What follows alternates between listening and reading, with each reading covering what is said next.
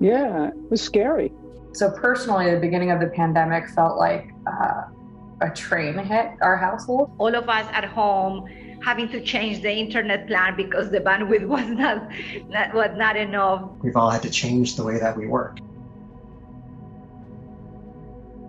What if there's an extended lockdown? Do I have the resources I need?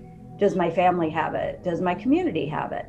The need for strong civil society organizations at the local level uh, was more critical than ever. The nonprofits that we serve realized during one weekend that their technology investments were not enough.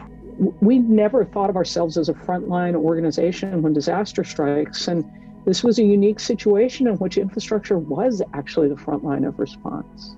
Probably they were saying, yes, we'll, we'll leave the technology investments for later. Later is that the pandemic came. Some people talk about organizations thriving. They're serving more people than they ever have before. They're doing more of this than they ever have before.